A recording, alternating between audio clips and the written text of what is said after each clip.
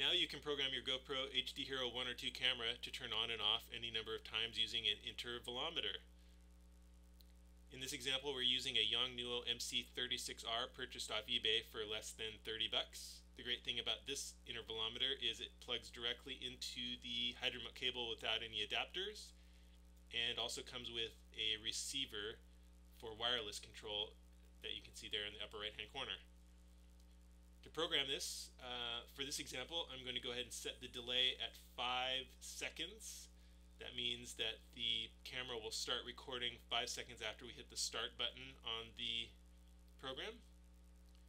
Uh, I'd like to set the shutter length at 4 seconds uh, because that um, will allow enough time for the camera to turn on or off for each program setting. And then thirdly, the interval. In this example, I'm going to set it 8 seconds. So the camera is going to start, turn on and off every 8 seconds. And here I'm setting it to take 4 exposures. So we're going to go through two rounds when we set this program. Uh, twice the camera is going to turn on and twice it's going to turn off. Plugging the remote directly into the intervalometer in this example.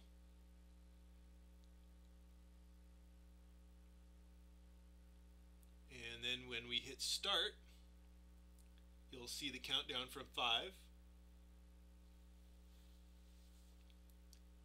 After 5 second countdown, the camera is going to start recording.